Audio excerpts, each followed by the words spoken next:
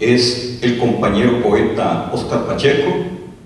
El sueño del poeta unionense Oscar Pacheco de lanzar su primer libro denominado Una ventana en el alma fue concretado en el Teatro Francisco Gavidia de la Perla de Oriente.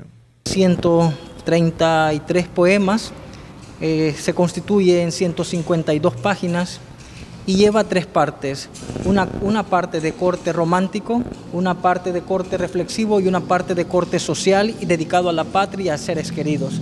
Es importante mencionar el apoyo enorme que yo he tenido por parte del movimiento literario Siramá, que ha estado de la mano conmigo como hermanos poetas fraternos, eh, que nacemos desde el oriente del país para poder difundir y hacer que trasciendan las letras de la patria salvadoreña. A la persona más importante de mi vida, que es mi hijo, el cual lleva por título Mi niño tulipán negro. Si bien cada uno de los cortes que contiene el libro tiene un significado, como era de esperarlo, el amor hacia su familia es algo fundamental en la vida de Oscar. Quiero compartir contigo la lluvia que baña los campos, el pan que sale del trigo y las mañanas repletas de cantos.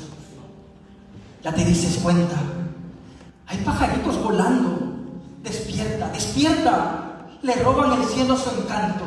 Este corte romántico es dedicado a mi esposa, también a mi familia, a mi hijo sobre todo, quien ha servido de una musa inspiradora para poder crear versos que lleguen directamente a la membrana que agudiza las emociones y el sentimiento. Nosotros que amamos la literatura, en otro punto, para quienes deseen adquirir un ejemplar, existen varias formas para poder hacerlo.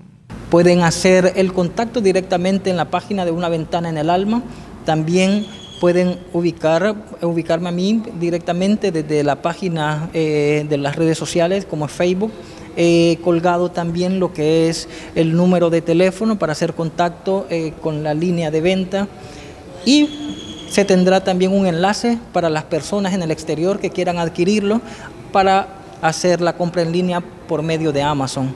por título el amor es un misterio. La invitación es para usted. Si es amante de las letras, puede comprar uno de estos libros. Y de igual manera, si desea obsequiarle un regalo a un familiar o ser querido, que mejor que mostrarle su afecto a través de la inmersión en el mundo de la lectura. Últimamente me he dado cuenta que el mundo del amor es misterioso, es curativo y poderosamente destructivo informó para Noti9 Samuel Robles.